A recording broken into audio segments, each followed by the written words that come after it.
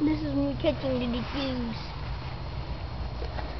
This is a good place to catch them because I'll take the camera for one You can't get too close, okay? Don't get too close.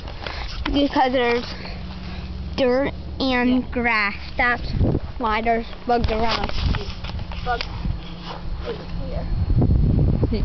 Go along the side of the wall. That's where you catch them. Yep. There are some.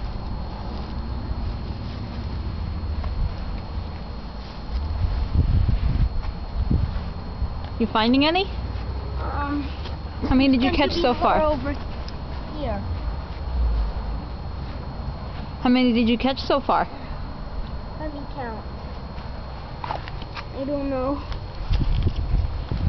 It could be, I think it's like three or four. I, saw some bugs right here. But they're not really moving here. They're roll up in the ball. Are they hard to catch when they roll up in a ball?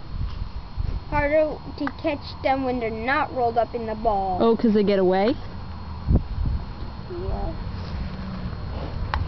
Sometimes it can be easy to do it when they're not rolled up in a ball.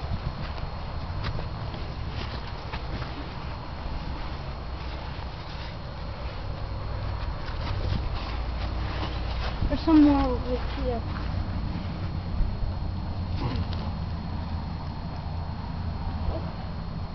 Find another one? Oh, found one here.